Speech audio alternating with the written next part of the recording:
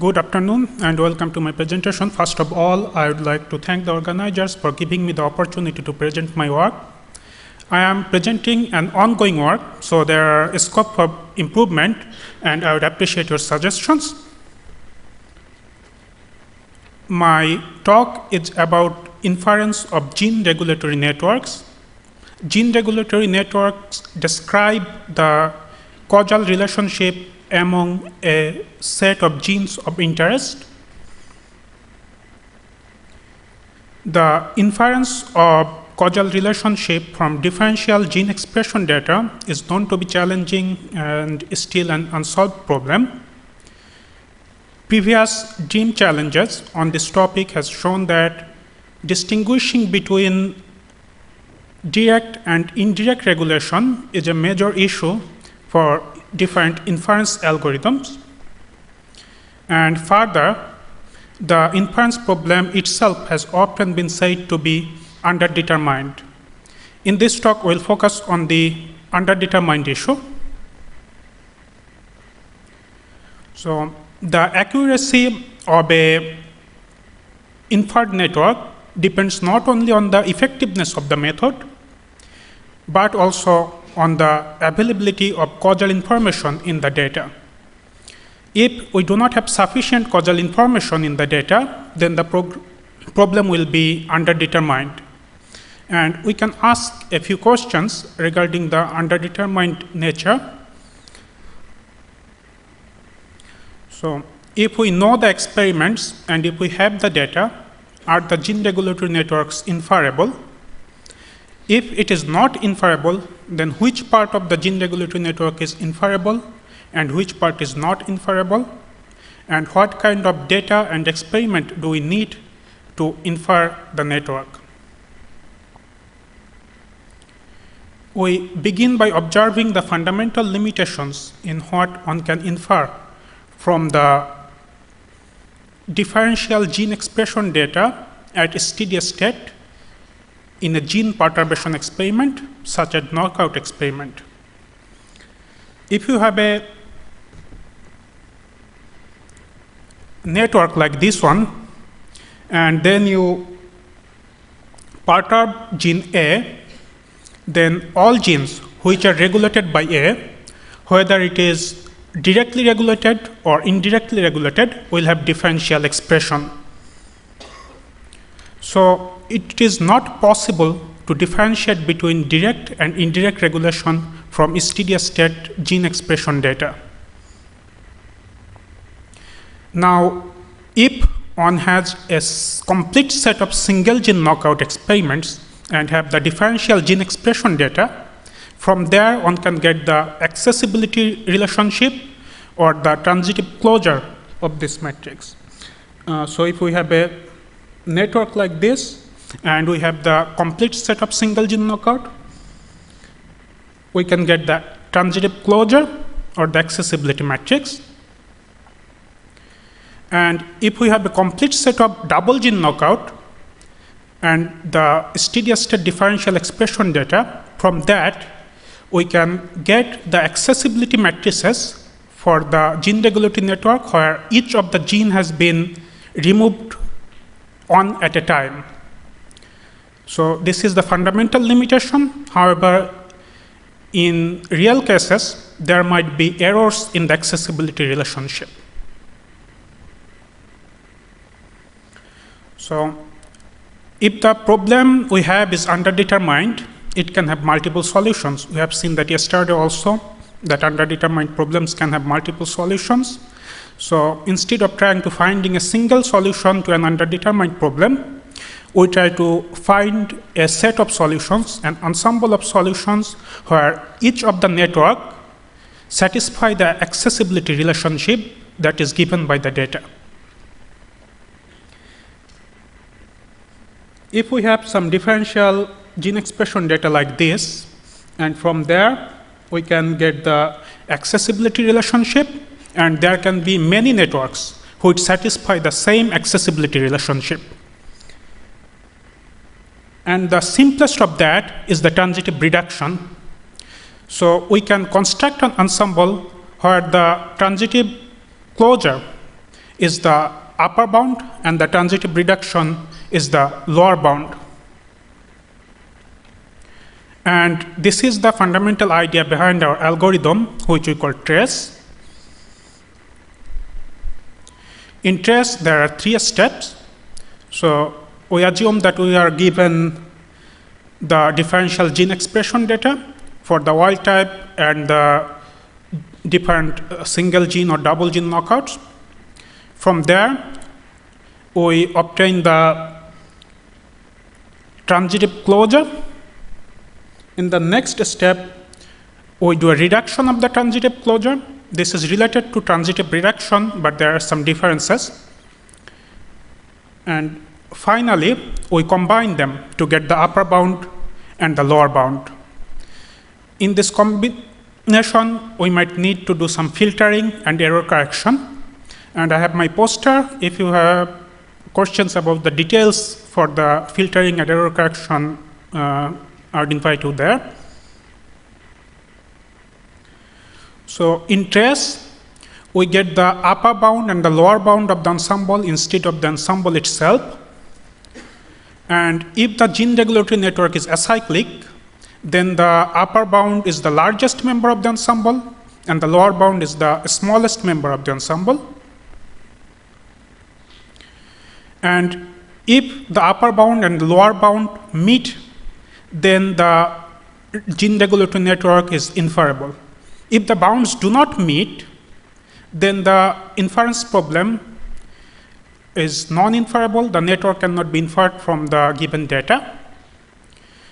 And the distance between the upper bound and the lower bound will serve as a measure of uncertainty in the inference problem.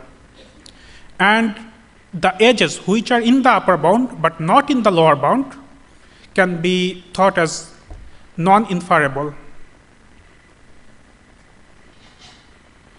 Now we try to see the a priori inferability of gene regulatory network. In this case, we try to analyze whether gene regulatory networks are inferable even if we know the accessibility relationships without error. We look at the a priori inferability of random networks from complete set of single gene and double gene knockout experiments. And under ideal condition that we have the accessibility relationship without any error. So here I show the results. In the x-axis, I have the number of edges in the network. And here I show the network distance for the lower bound and the upper bound. And if the lower bound and upper bound meet, then the network is inferable. As you can see that for most of the networks, the bounds do not meet, therefore they are not inferable, except for small networks.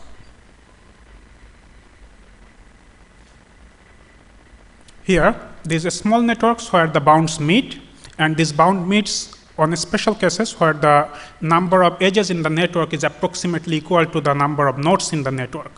Other than that, the gene regulatory networks are not inferable from complete set of single and double gene experiments. So based on this, we do not expect that genome scale gene regulatory networks like for E. coli or yeast will be inferable. And they are not inferable. We tested this under ideal conditions. And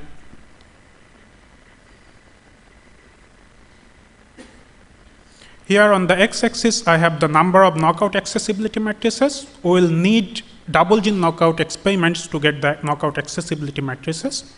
As you can see that after a few knockout experiments, the distance between the bounds do not improve anymore, and we reach an steady state.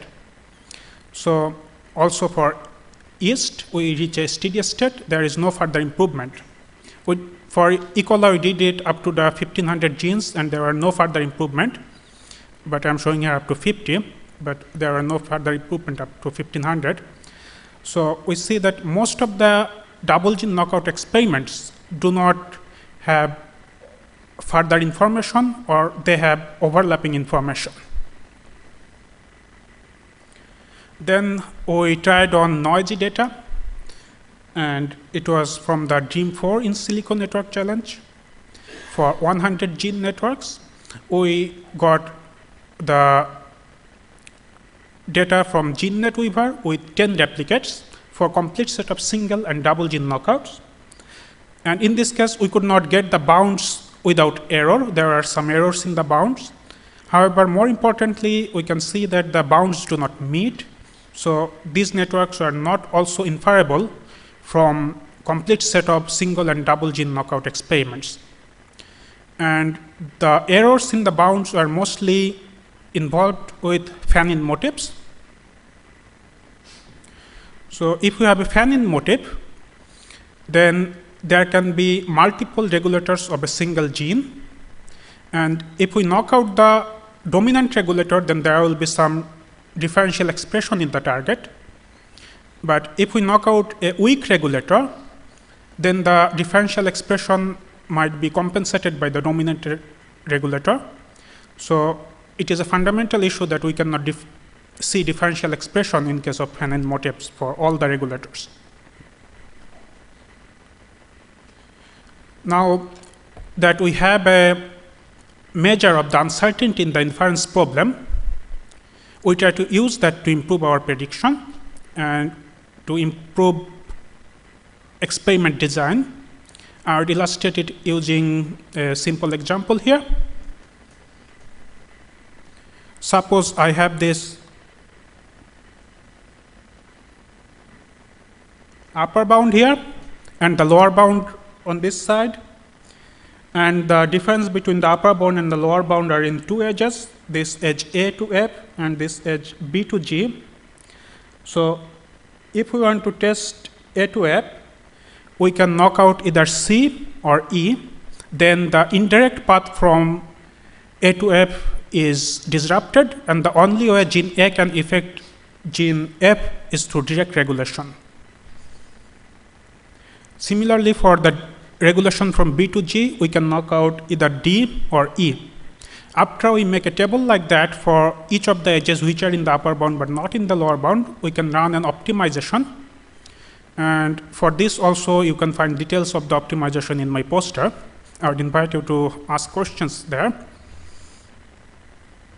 And after we do the optimization, we find the knockout by which we can test the maximum number of edges.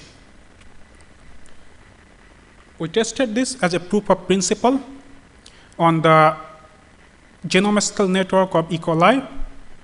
And previously, we could not identify that with complete set of single and double gene experiments. But in this case, if we use design of experiments, then we can infer the network within less than 2,000 experiments.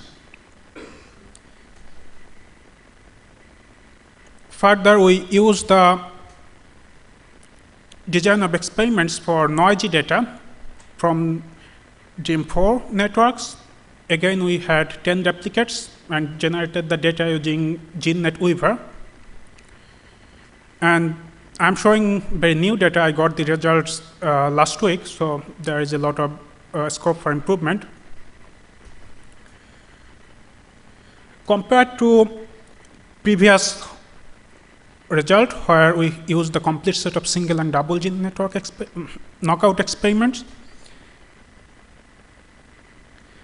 Here the distance between the upper and lower bound is much smaller and the required number of experiments is less than 3% of the number of experiments for complete set of single and double gene experiments.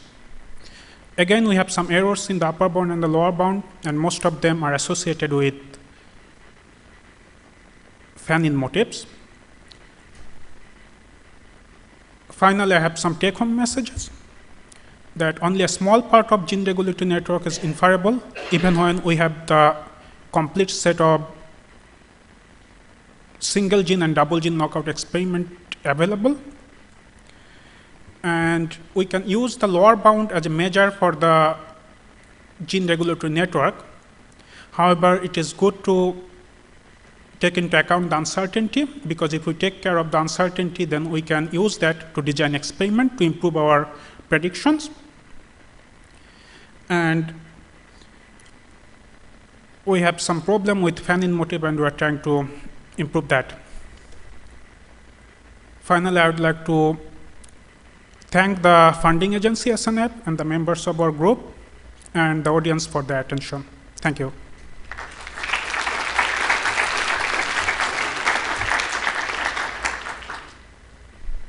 Yeah, hi. I was a little uh, st- struck by the lack of information you get from the double knockout experiments. Um, and I was wondering how much of that you think might be due to the transitive reduction uh, uh, uh, approach you use requires acyclical graphs? And do you have any intuition as to how all of your results are dependent on that? And in particular, if the doubles might be more informative if that would be relaxed some way? Mm,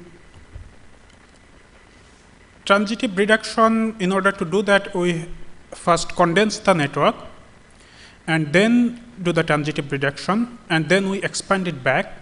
So it is not necessary that we always need the acyclic graph. We can do transitive reduction after condensation for cyclic graphs also. However, we need to do some tweaking and you can see more details of the tweaking in my poster, but uh, our algorithm is not limited to a cyclic graph now.